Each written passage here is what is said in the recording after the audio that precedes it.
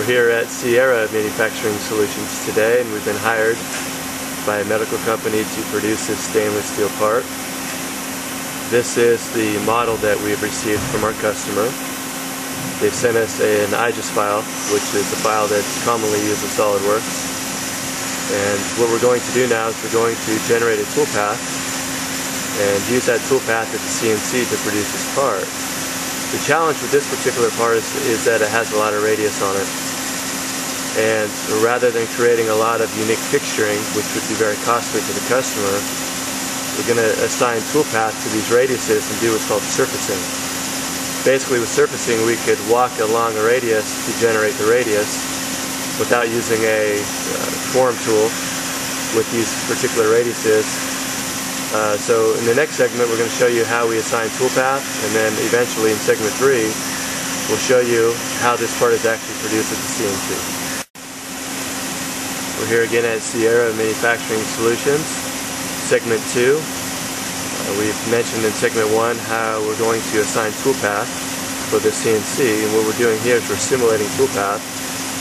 We've determined this to be the best uh, approach to produce this part to uh, for cost effectiveness for our customer. The software allows us to verify the toolpath to ensure that we're not going to break tools or crash our machine. This is a surfacing procedure where we can walk along the radius, produce the radius, rather than using special form tools or complex fixturing.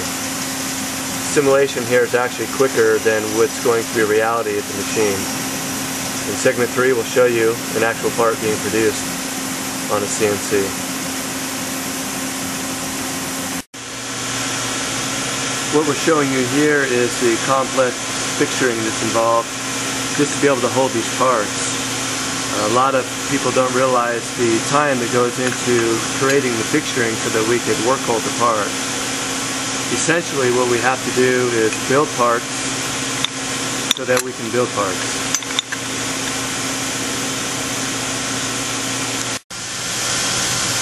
Here are some of the tools that we'll be using to produce these Earthray oh stainless steel medical parts.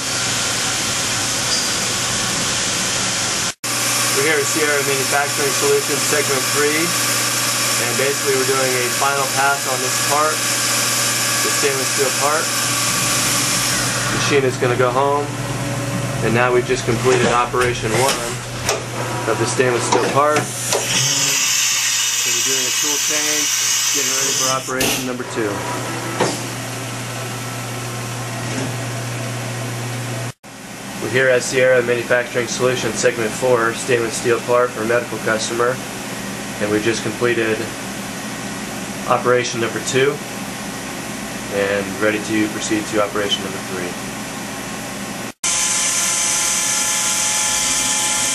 The challenge with this particular part was all the radiuses as mentioned in segment 1.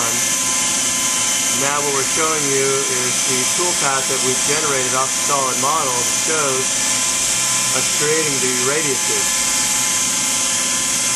By doing this surfacing procedure to CNC prevents all of, of the costly fixturing involved and special form tools. Surfacing usually is a time-consuming process but prevents us from having to move the part many times to the various fixtures. We always recommend against unnecessary radiuses when the mechanical engineer is designing a part as it adds additional cost to the part. In this particular application, these radiuses are required because this particular part needs to be a certain weight in its medical environment.